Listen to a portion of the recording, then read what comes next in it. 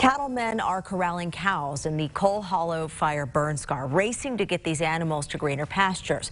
But this is also, unfortunately, a recovery effort for the cows that died in the fire. News 4 Utah's Andrew Reeser takes us on their mission. The Coal Hollow fire not only burned much of this land, but it also burned into the profits of several cattlemen in this area. Oh, yeah.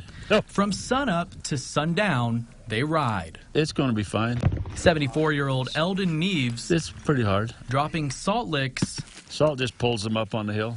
and truth bombs There's no sense in crying about something. You just do what needs to be done. till the cows come home.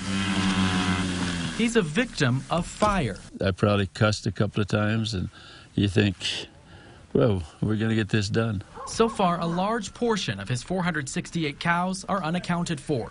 He's sure about 10 of them perished in the flames. What happened, they, they tried to come up out of the fire, and then the smoke got them, and they, uh, they just simply died there.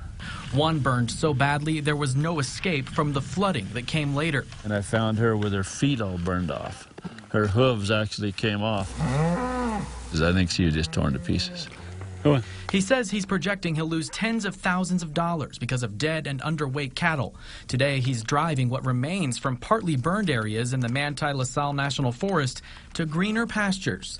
And while the U.S. Forest Service and ranchers are working together, the USDA requires proof of disaster, which is proving difficult for Neves. In many cases, I won't be able to prove that they were killed because we won't be able to find them. But this is his passion. If you consider the monetary cost of what you're doing, it's it not it's not very smart, but it just kind of gets in your blood.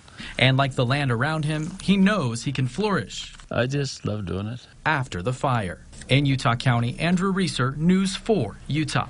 The cattlemen we spoke with say it will likely take several years before the land is regrown and they recoup some of those losses.